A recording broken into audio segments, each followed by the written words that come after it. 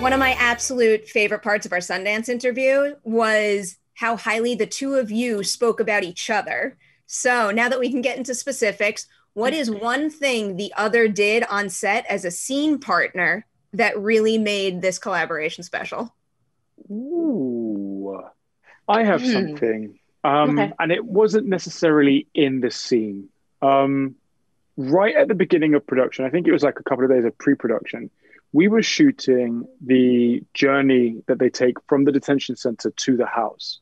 And we were in a minibus like all day, just driving around. And there's this shot of the, the two characters holding hands. Wunmi was so generous in sharing something that was personal to her about how she met her husband, you know, and how, and just sharing that story. Well, I mean, I've loved Wunmi for ages, so we would be wrong for me to say that I fell in love with her then. But um, her being that vulnerable with me really helped me sort of connect with her, and then Bol connecting with Rial. So it was just about Wunmi being open, generous, and sharing um, her life and being open and free with me and vulnerable with me. That I think set us off on an excellent journey for the rest of the shoot. Yeah, I feel like the same. I feel like you I was gonna say like the the openness and the like generosity of spirit. Like we really bonded as like, you know, brother and sister on that and on that job and like can, and has continued. And I feel like um yeah, that just that openness, that, you know, lying someone lying on someone's lap is not an easy thing to do when you don't know a person. It's just not. Mm. And um we were able to find that physical vocabulary between us just because we had opened up to each other and and been and shared. Have to ask you about working with Remi too. And specifically, I love hearing about what a director's tell is behind the monitor when they're really loving a take. And I'm really curious about him because he seems so chill and calm. So, what can you see him doing behind the monitor when you know he's really digging your performance?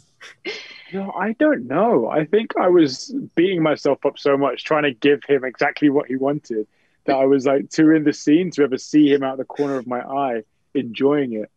But um, Wunmi, do you have anything? You know, it's really interesting because he doesn't stop until he gets it. So, you know, Mhm. you know you're not there yet until he goes, I think we got it. He just says, I think we got Yeah. it. And then we move on. And then that's when you know we got it. All right, some spoilers now. I am always so eager to hear more about lore and legends. So, did you two do any extra research into the Apeth or just witchcraft in general among the Dinka? You know, that scene, I don't know if this ruins the magic, but that scene was actually a reshoot. So we did Mhm. that a whole year later. And um sorry, is that is that does that ruin the magic? No, like if, if anything, I think it's better to kind of demystify the negative connotation of a reshoot. Like sometimes that Yeah, stuff right. needs to happen for the better. when I read that scene, I just was just I was just reading it because I didn't really understand why we needed it. And then so that was more and then it was actually in the playing of it that I realized, oh, Hmm. I get it. But so it was kind of a it was more like an osmosis thing. I didn't really understand it until we were in the scene. I didn't understand the Mhm. true n- need of that scene until we were there. They have the Apeth speech, and there's one point in that conversation where Bol snaps at Rial, and Mhm. I was wondering, Sope, what what is what does he say to her? Because I think that's one of the very few moments in the movie where we don't get an exact translation. Sure, yeah. Taj is what is the actual word that he said. And I think in Dinka it means remember enough. I drilled it so many times. I'll never forget.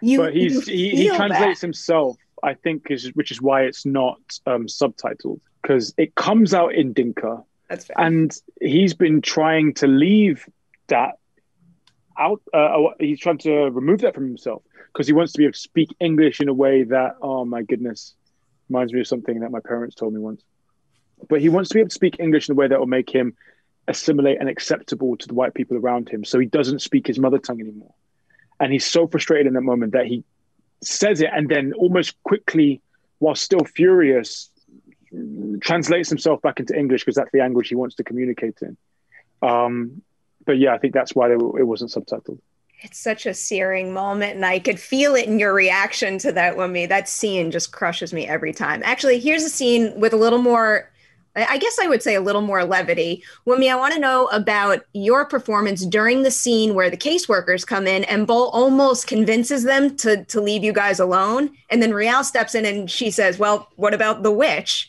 What is the motivating factor behind her kind of blowing up his spot? In a sense, is it purely revenge? And can you feel that light tinge of comedy shining through while you're on set? Yeah, I mean, I think that's one of the things I love about Rial is that she does have like comedy little moments of like just lightness. Um, even when he's having his nightmare at the beginning, she knows he's not dreaming about the wedding, and you know, like, um, but um, yeah, I think for her, her motivation is I want to go home. I am going home. I'm gonna let these people know the truth because I'm not gonna lie. I'm not gonna lie. I'm not gonna. I'm not gonna give you what you, like I'm not going to perpetuate this nonsense. Like, let's go home. Let's get our girl mm. back. Let's go home. And um, they're going to look at us, think we're crazy, and send us home. it, it's one of my favorite sequences in the movie, among many others. But Sope, for you, I'll go with this specific scene. So the the moment where Bol decides to take Nyagak, because there are some there are some shots in that that let us just sit with you without any dialogue, actually processing and making that decision. So in order to prepare for a mm. scene like that, what kind of conversations do you have to have with Remi to really solidify where his mind is at when he makes that choice? I don't know that we really had a discussion about that moment, but the freneticism of what's going on around like I thought the supporting artists in that scene did an incredible job of just squeezing us against this bus and reacting to the gunfire when it happened. That it's it, it's calculated and it's not. I think that's one of the themes of the of the film. It's like what do you do when you're trying to survive? When you're acting on instinct. He knows that maybe if he has this child, he'll gain access to the bus. But I don't think he he obviously doesn't think further down the line because carrying this child across the sea into into safety I was definitely never a part of that plan in that moment. So I think um, super grateful to Remi and Yo for capturing that because I don't think we really spoke about it beforehand. It is, uh, it's mighty powerful, as is the whole film. You guys know how I feel about this one, and I'm so glad people are getting to see it now. Huge yeah. congratulations! Thank, Thank you, you, so much. much. See you Love guys soon. To chat to you again. Yeah, so you do. see you.